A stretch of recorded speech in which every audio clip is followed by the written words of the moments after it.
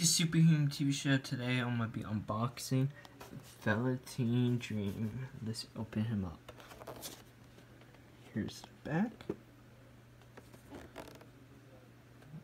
He looks real. This is what he looks like out of the box.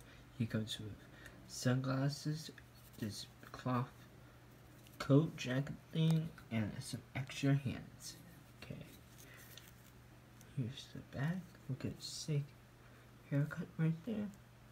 So detailed. Look at the detailed pants.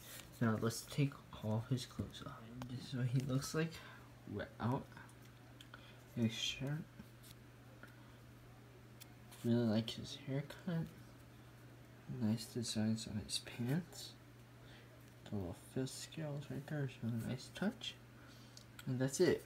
Boop boop.